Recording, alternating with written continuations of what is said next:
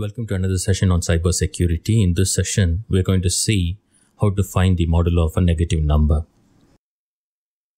So we all know how to find n mod k. For instance, we have n to be 3 here and k to be 12 here. We know what is the result. The result is 3. So how did we arrive at this 3? Um, here I'm using 12, so I will refer to a 12 hour clock. When I say 3 mod 12, it's nothing but 1, 2, 3. So the answer is 3. So we have already seen this uh, in a previous session on how to compute 3 mod 12 or 4 mod 12. Uh, let's take another example. What is 7 mod 12? Again, you go in the clockwise direction. So 1, 2, 3, 4, 5, 6, 7. So the answer is 7. So I'm using a 12 hour clock for explaining this because we are working with mod 12. Likewise, let us talk about what is uh, 13 mod 12. Can you compute what is 13 mod 12 using this 12 hour clock? It's nothing but 1, 2, 3, 4, 5, 6, 7, 8, 9, 10, 11, 12. And here, this represents 13. So the answer here is 1. So what is 7 mod 12? We have received the answer as 7. The other way to compute this is say if uh, n is lesser than k, then we can say the answer is n. Since 3 is lesser than 12, the answer is 3. Likewise, we have 13 mod 12. Here, n is greater than k. So we'll have a reminder. So we divide n by k and whatever reminder we get, we are going to give it here. So these things we have already seen in our previous classes. We are very clear with these things. Now the question is uh, how to compute minus n mod k. So we have a negative number here. So what is the result? Since we have a mod 12, I will take the clock again for my reference. And uh, when we were computing 3 mod 12, we were going in the clockwise direction. Since it's minus 3, what we'll do is we'll go in the anti-clockwise direction. So it's minus 1, minus 2, minus 3. So the answer is 9. So the answer for minus 3 mod 12 is 9. Let's take another example. Let's take a look at minus 7 mod 12.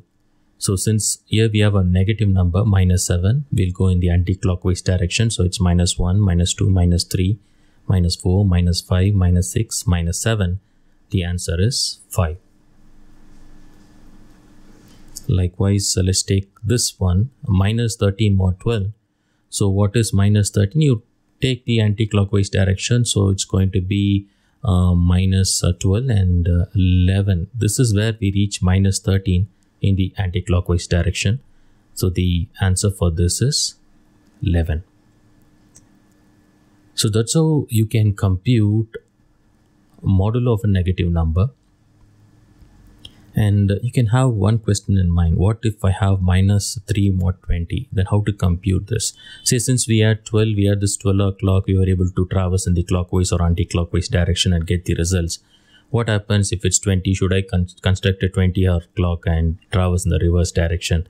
What if I have a greater number here, say minus 3 mod 50? Then how to compute that? So that will be the question. For this, we have a formula that is minus n mod k can be computed as k minus n mod k. So let's take an example for better understanding this. Say minus 3 mod 12. Here, n is nothing but 3. We, we don't consider minus here, we just say n is 3 and uh, here k is 12. So what is minus n mod k? We just substitute n and k here. So that is nothing but k minus n is 3 mod k. So what is uh, 12 minus 3 mod 12? It is 3. So 12 minus 3 is 9. Let's take another example. Minus 7 mod 12. So what is minus 7 mod 12? So here n is equal to 7 and uh, k is equal to 12. Substitute n and k in this formula. It is nothing but 12 minus we have 7 mod 12. So what is 12 minus 7 mod 12? It is nothing but 12 minus 7. The answer is 5. Let's take another example. Minus 13 mod 12. What is minus 13 mod 12? Here, uh, let me write it here. So here n is 13, k is 12. Let's substitute this in the formula. So it is nothing but k is uh, 12 minus 13 mod 12. So we have n to be 13 and k to be 12. So this is nothing but 12 minus what is 13 mod 12? The answer is 1. So 12 minus 1 is 11. So we have computed minus 3 mod 12 to be 9, minus 7 mod 12 to be 5 and minus 13 mod 12 to be 11. So these computations match with our previous uh, calculations using the clock, right? So we were able to arrive at the exact same results. Now let's take uh, some more exercises. Say what is minus 3 mod 20? Can you compute? Let's substitute this in the formula. What is uh, minus 3 mod 20? Here n is 3 and uh, k is 20. So it's uh, 20 minus 3 mod 20. This is nothing but 20 minus what is 3 mod 20? 3 mod 20 is 3. So the answer is 17. So that's how you can compute the modulo of a negative number. We all have seen in depth how to compute n mod k that is well known to us. If you have any confusion on computing n mod k, you have to refer to my previous lectures on modular arithmetic. Here we have seen how we should compute minus n mod k. For this, we have used this formula k minus n mod k. I hope you all have understood this. Thank you.